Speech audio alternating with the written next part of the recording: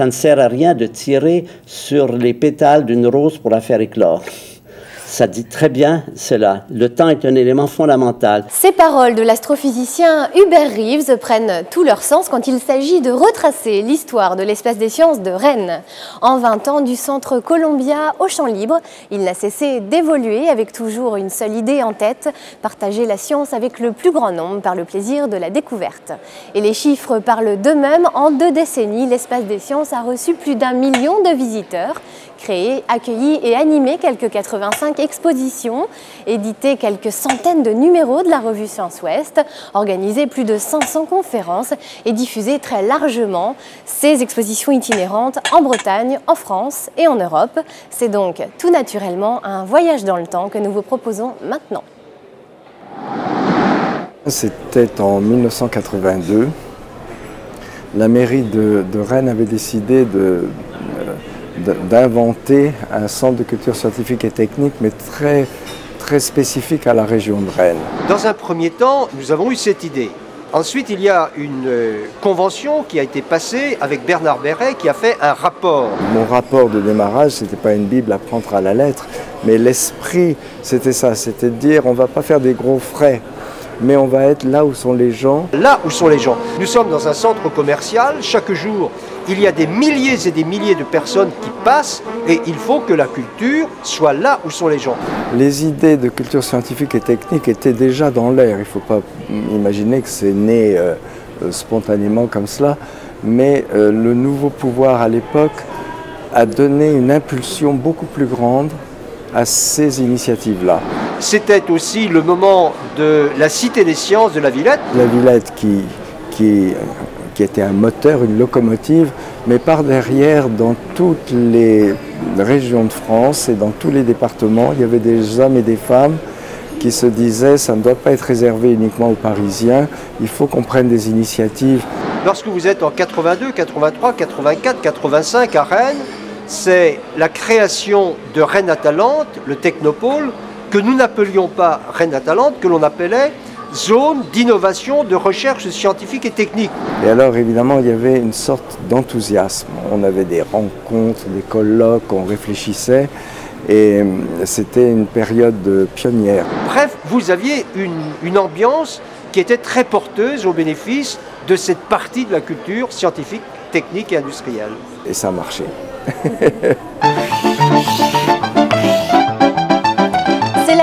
lancement du mensuel Réseau, la revue des sciences et des techniques qui présente sur quatre pages l'actualité de la recherche et de l'innovation en Bretagne. Le numéro de février de Réseau, le mensuel du Centre de culture scientifique, technique et industrielle, est sorti. Un premier titre, commercialisation d'un nouveau médicament développé à Rennes dans la lutte contre la dégénérescence cérébrale. Le 2 juin, c'est l'inauguration du lieu d'exposition CCSTI à Columbia et la mise en place de la première expo sur les biotechnologies. Dans le même temps, la bibliothèque scientifique ouvre et les premières conférences sont données en octobre. La présentation de l'exposition Rennes Atalante à l'ouest, une technopole à la Cité des Sciences et de l'Industrie marque une étape très importante pour le CCSTI. Michel Cabaret, journaliste de réseau, devient directeur du CCSTI et très vite on comprend que l'histoire entre ces deux-là va durer longtemps puisqu'ils parlent déjà de diamants. J'espère que vous en avez beaucoup dans les studios. C'est du carbone, donc en fait le diamant brûle. Peu de personnes le, le savent encore.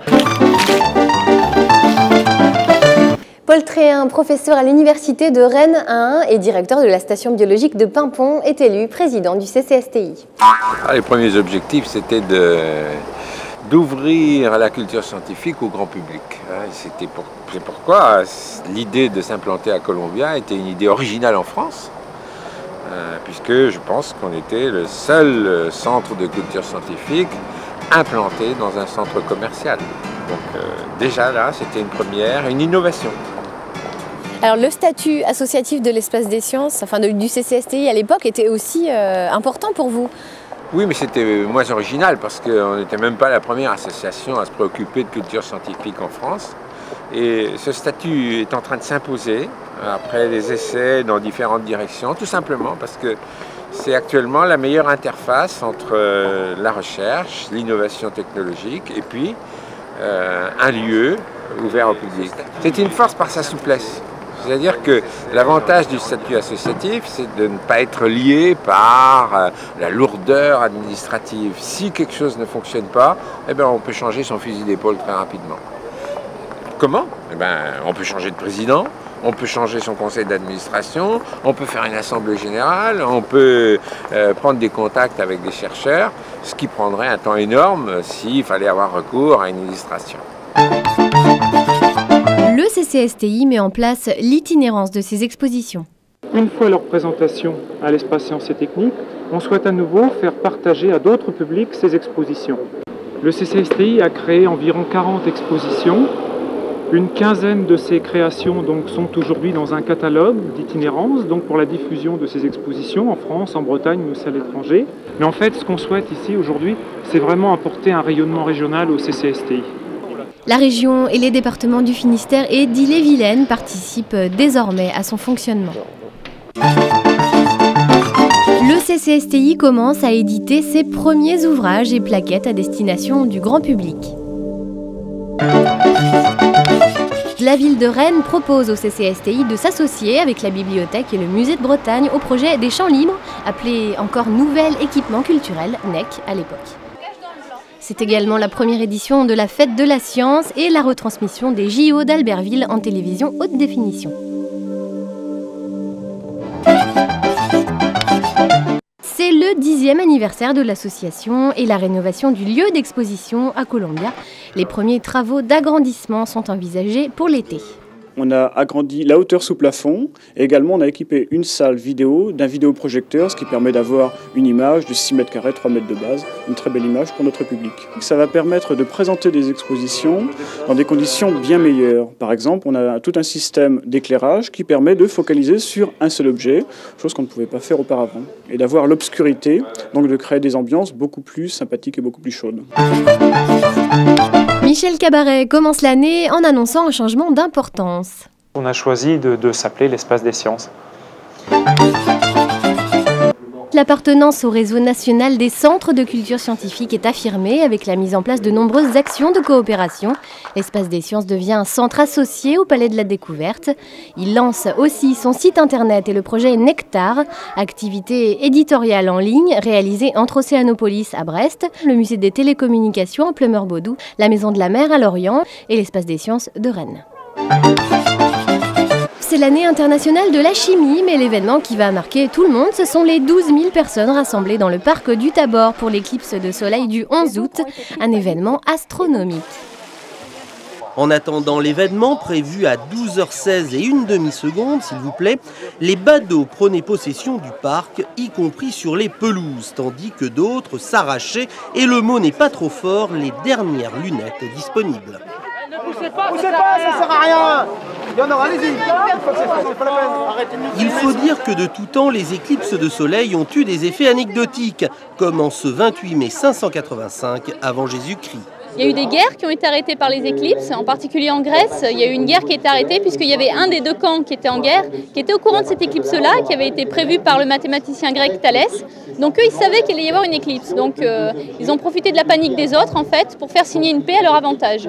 Après 1912 et 1961, l'éclipse d'aujourd'hui est donc la troisième et dernière de ce siècle visible en France. Un moment que certains photographes n'ont pas voulu rater. Bah, j'ai monté un, filtre avec du carton et puis un, filtre spécial. Et puis j'ai fait mes lunettes pareil. Vous les mettez? Bah oui. Voilà madame, munie de vos lunettes, vous allez pouvoir observer avec un petit peu plus de 96% cette éclipse de soleil. Attention, top des comptes. 3, 2, 1. On est au maximum.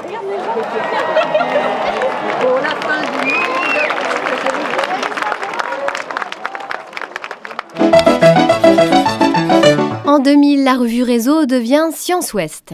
La revue a, évolué au cours du temps, donc elle s'est enrichie en pages, en photos, en couleurs, et euh, donc elle suit toujours euh, avec attention l'actualité scientifique de la Bretagne. Et la même année, le chantier du NEC démarre sur le site de l'ancienne gare routière. L'espace des sciences coproduit et réalise quatre expositions avec les quatre centres nationaux de culture scientifique, l'os vivant avec le Palais de la Découverte, les méduses avec le Muséum national d'histoire naturelle, Volta avec le Musée des arts et métiers et la chimie naturellement avec la Cité des sciences et de l'industrie. Dans le même temps, les champs libres prennent forme, la ville de Rennes transfère le projet à Rennes Métropole. Michel Cabaret reçoit le prix d'Hydro en personne, mais pour lui, ce prix honore un petit peu tout l'espace des sciences, bien sûr, son équipe, son association et puis tous les partenaires qui sont auprès de nous. En 2004, l'espace des sciences reçoit le prix du meilleur site internet décerné par le moteur de recherche Yahoo dans la catégorie sciences et techniques.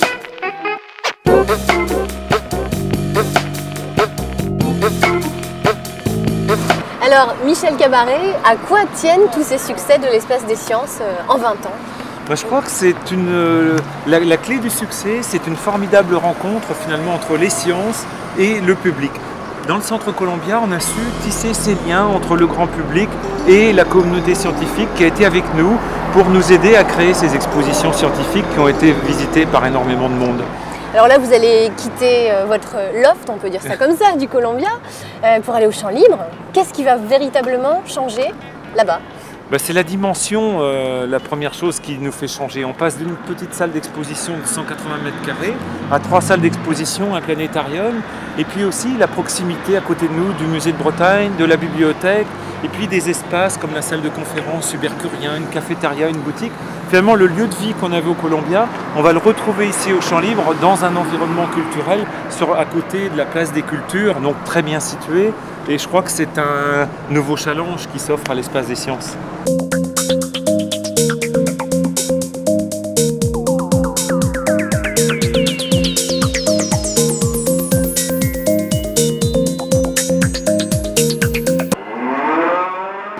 Avez l'intention de produire la totalité de vos expositions au Champ Libre, ça, c'est un grand changement aussi. hein. Mais oui, parce qu'en fait, les expositions, la Ro- Roche armoricaine, le laboratoire de Merlin et les expositions temporaires dans la salle Eureka, euh, nous, notre souhait dans ces salles, c'est de travailler avec la communauté scientifique locale et régionale et avec elle de diffuser les connaissances auprès du grand public. Parce qu'en fait, il existe déjà de belles expositions faites à la Cité des Sciences, au Palais de la Découverte. On pourrait se contenter seulement des accueillir et des animer. Mais nous, ce qui nous semble intéressant, c'est justement, étant un centre culturel, c'est de créer des images, des maquettes, des manipulations scientifiques nouvelles, originales. Et l'espace des sciences est un petit peu un cœur qui produit des informations et puis qui aussi les diffuse. Euh, Le cœur et le réseau en fait, c'est Voilà. un principe scientifique ça. C'est un principe scientifique. Alors comment on rend la science accessible à tous? Parce que c'est pas si évident Ah. que ça. Maintenant, c'est vrai que c'est pas évident, surtout qu'on s'ennuie un peu sur les bancs de l'école, et avec les théorèmes. Non, pas moi Mais euh, pour le grand public, quand même, c'est un côté quelquefois difficile, euh, abstrait, compliqué. euh, et, et nous, justement, puisqu'on l'aime, cette science, c'est ça le, le principe. On, on essaye de la rendre agréable, de montrer qu'elle est présente dans notre vie de tous les jours. Tu vas aller voir comment ça se passe en vrai dans la nature? Oh, ça me dit pas tellement. hein. Je préfère le voir en exposition comme ça. Et après, on essaye de répondre avec eux euh, et, et de leur expliquer finalement tout ça, comment ça marche. Alors comment ça marche Je pense que c'est une question euh, à laquelle vont devoir répondre énormément les médiateurs de l'espace des sciences. La médiation humaine est au cœur de Oui. votre dispositif. Oui, et pour nous, la science ne vaut que si elle est partagée. Et donc, les- de tout temps, l'espace des sciences, on a toujours souhaité euh, avoir ces médiateurs, ces passeurs qui expliquent, parce que euh, on, l'a observé il y a quelques années, les gens, nous, préféraient peut-être plus d'interactivité, etc. Mais aujourd'hui, il y a Internet à la maison, il y a la télévision, il y a beaucoup de jeux vidéo. Si bien qu'aujourd'hui, on en revient un petit peu de toutes ces choses-là, en tout cas dans les espaces euh, culturels scientifiques, pour justement mettre en, entre les connaissances et le grand public ces médiateurs qui expliquent, qui répondent aux questions, qui finalement ce sont eux les meilleurs, hein. ce sont eux, qui, ce sont eux qui, qui font tout ce travail de communication et eux-mêmes peuvent répondre en direct à- à- au public. Eh ben, ça tombe bien parce qu'on approche du laboratoire de Merlin, on va pouvoir euh, aller les rencontrer Voilà. tout de suite. Merci beaucoup Michel Cabaret. Merci. À bientôt.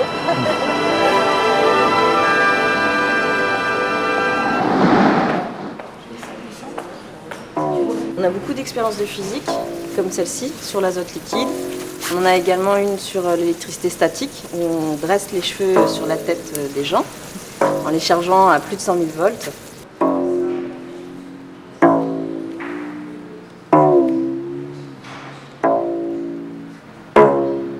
Il faut mettre de sa personne un petit peu.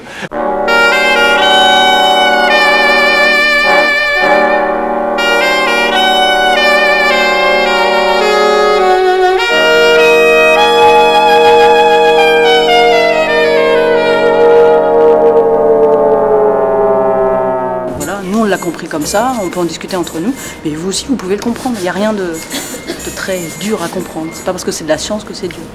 C'est simple à comprendre. Là, on est à moins 850 de millibar. Ouais, 35 degrés, ça boule. Ah, si, là, oui. tu vois, tout l'aspect, les hémisphères de Magdebourg. euh, Ça illustre bien la force de l'air. voilà, des choses simples. Quand tu ouvres cette vanne-là, le manomètre indique la, la pression à l'intérieur de. D'accord. Quand tu appuies sur l'air, rentrer de l'eau et donc le, le, Ouais. le lion se met à couler. Voilà. Mais l'intérêt aussi, c'est qu'on fait participer aussi un peu les gens. Et il y en a un autre qui essaye aussi d'expliquer la science, mais là, il faut euh, beaucoup plus d'imagination. Donc en fait, J'ai une peur quand Christopher Non, se non. met à faire des Oh là là, déjà, expériences. Pourquoi est-ce que Et je Vous savez, ça porte un malheur parapluie d'ouvrir un parapluie dans un intérieur. Alors, En fait, euh, ce parapluie euh, va me permettre de vous parler un peu de la méduse, puisque dans une méduse, on a également l'ombrelle. Ici, on a nos tentacules. Et au centre, on a plusieurs bras oraux. Et en définitive, les tentacules vont permettre de capturer les crustacés ou les poissons et de les ramener jusqu'à la bouche qui se trouve dans cette partie. Et l'estomac se trouve en fait dans la partie, euh, dans la C'est pas partie mieux vous, hein, centrale. Christopher. Là où il y a les non, baleines Dans la partie centrale. Là où il y a les baleines. Là où il y a les baleines. Et euh, on a euh, les gonades qui sont euh, à la périphérie. Donc euh, ça, c'est une petite astuce pour euh, les animations. Bienvenue dans la salle Eureka, rentrée. Et pourquoi elle est toute vide Eh bien, parce que l'exposition n'est malheureusement pas encore arrivée. Pour une exposition sur le temps, eh ben, on en a manqué. Je vous rassure, elle sera là à temps pour l'ouverture, donc début mars, et elle va durer 8 mois. Alors, qu'est-ce que ça signifie être responsable des expositions au champ libre, notamment des expositions temporaires? Eh ben, ça veut dire avoir une euh, lisibilité euh, sur euh, plusieurs années, 540 millions d'années. Oh, faut pas exagérer quand même. Non, mais en vrai. Euh, 2008, voilà, 2007-2008, parce que grosso modo, il faut deux ans pour euh, créer une exposition, suivre la mise en place euh, donc euh, des expositions, et puis euh, bah, évidemment, euh, l'idée c'est euh, de renouveler euh, des éléments euh, des salles existantes, notamment de la salle euh, laboratoire de Merlin. On va tester des manips, on est dans l'expérimentation, hein, euh, y compris en termes de, création et de programmation. Il ne s'agit pas de présenter un gros écran avec tube cathodique euh, euh, intégré dans une borne avec un gros bouton poussoir. On ne peut pas se permettre ça. Donc ça veut dire être un petit peu en avance. Niveau euh, technologie et puis d'être de plus en plus immersif au niveau des mouvements, de la vision euh, 3D, ou des moulages, de la diffusion d'odeurs, enfin voilà, de, tout ce qui est mis désormais au service de ce qu'on appelle la muséologie. C'est pas parce qu'on est dans un magnifique euh, bâtiment euh, euh, que euh, on doit euh, figer, euh, figer les choses. Donc euh, c'est entretenir cette, dynamique euh, de création. Alors, Cécile, on se trouve où ici? On se trouve dans la salle de la Terre. En fait, euh, c'est une salle euh, dans laquelle on a installé l'exposition Roche armoricaine, qui parle euh, de la géologie du massif armoricain, mais aussi un petit peu du fonctionnement de la planète. On va y trouver en fait donc plein de cailloux qu'on va pouvoir toucher, regarder, observer à la loupe. Le début de la salle commence il y a 600 millions d'années. L'échelle de temps est un peu difficile à comprendre pour nous. C'est pas euh, les millions d'années, c'est pas ce qu'on utilise tous les jours. À l'échelle de l'homme, on est plus euh, donc sur l'année ou la centaine d'années. Et par contre, donc, on a essayé de, à partir de ces petites histoires, euh, donc, de reconstruire les paysages. Sur le premier épisode de cette salle, donc il y a 600 millions d'années, on est capable de dire, parce qu'on a trouvé des cailloux qui sont des laves, et donc euh, en pensant aux laves, on pense à des volcans, on, on a, pu reconstruire une histoire qui dit qu'en fait, à cette époque-là, on avait une chaîne volcanique, un peu comme celle des Andes. Alors un peu plus tard, en fait, dans le deuxième épisode, donc quelques millions d'années, centaines de millions d'années plus tard, le massif armoricain était recouvert par l'eau. On a essayé au fur et à mesure de reconstruire les paysages avec, euh, bah, tant qu'à faire, la faune et la flore de l'époque. On ne l'a pas fait pour tous, mais on l'a fait pour certains. Par exemple, le cinquième épisode, où on a reconstruit en image de synthèse euh, une lagune qui se trouvait pas très loin de, Chartres, de Bretagne, dans, dans laquelle vivaient des lamantins et des requins, par exemple.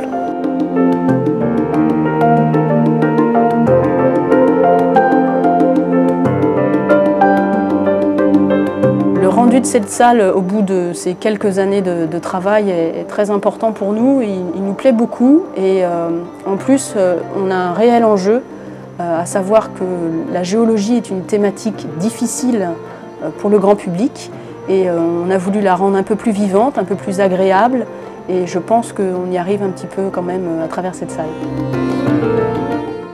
Autre salle, autre ambiance dans la salle de conférence Hubert Curien, du nom de cet ancien ministre de la Recherche qui a beaucoup œuvré pour le développement des CCSTI en province. Maët, est-ce que les conférences vont continuer comme avant, l'espace des sciences? Non seulement elles vont continuer, mais elles vont être encore plus nombreuses, puisque nous allons donner rendez-vous maintenant euh, très régulièrement, tous les mardis, pour les mardis de l'espace des sciences au champ libre, avec euh, des, conférences qui auront lieu euh, à 20h30. Et puis, bon, on changera un petit peu les formats de temps en temps.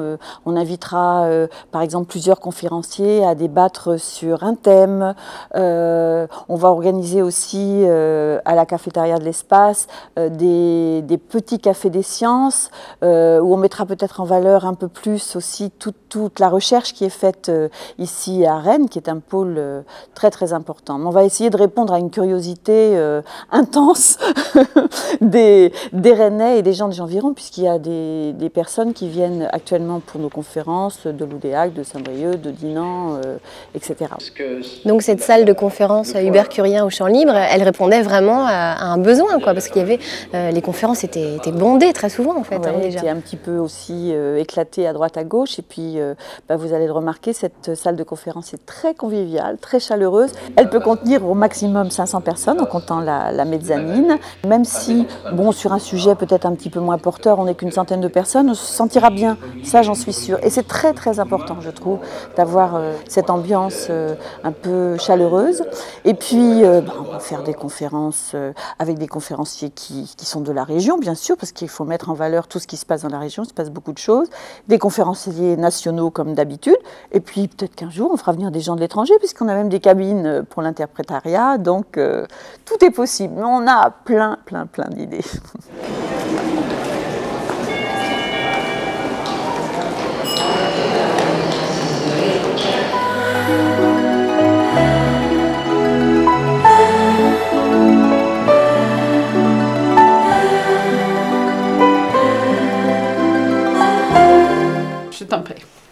ben, on a une mission commune, on assume tous les deux la responsabilité du planétarium. Quand euh, le bâtiment des champs libres euh, s'est mis en place, il a été prévu donc de mettre euh, à l'intérieur un équipement de projection pour du planétarium. simplement qu'avec le temps qui s'est écoulé, les technologies ont évolué et on est passé à ce que l'on appelle le planétarium tout numérique, c'est-à-dire qu'il n'y a plus de grosses machines centrales mécaniques au milieu de la salle. On met maintenant le système de projection en périphérie de la salle et tout est asservi par des ordinateurs qui euh, vont calculer et générer les images.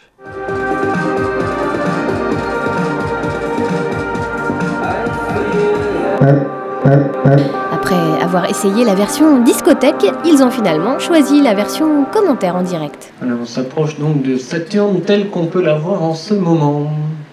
Le principe, c'est de travailler en direct et en temps réel. C'est-à-dire qu'on peut représenter par exemple le ciel du soir, donc quelqu'un qui vient à une séance le soir peut s'amuser à retrouver exactement la même chose. Et puis s'il y a des événements euh, astronomiques qui se déroulent, eh bien on peut soit les anticiper en les expliquant, soit les reproduire, soit ensuite en parler. C'est-à-dire qu'on va suivre effectivement comme amateur l'actualité mais astronomique. Donc c'est une vraie photo obtenue par les astronautes de la station orbitale telle qu'elle est en ce moment pendant euh, le temps de la séance de planétarium, qui dure à peu près une cinquantaine de minutes, euh, parfois une heure, et eh bien, euh, pendant cette durée, la personne oublie complètement le côté matériel de la Terre et se retrouve vraiment dans l'espace à voyager. D'autres questions en somme, si j'ai bien compris, plus on, a envie de faire plaisir à tout le monde, c'est-à-dire que les gens se sentent bien en sortant de, là et, envie d'en d'en apprendre plus et peut-être de lever les yeux au ciel. Ça, ça serait gagné.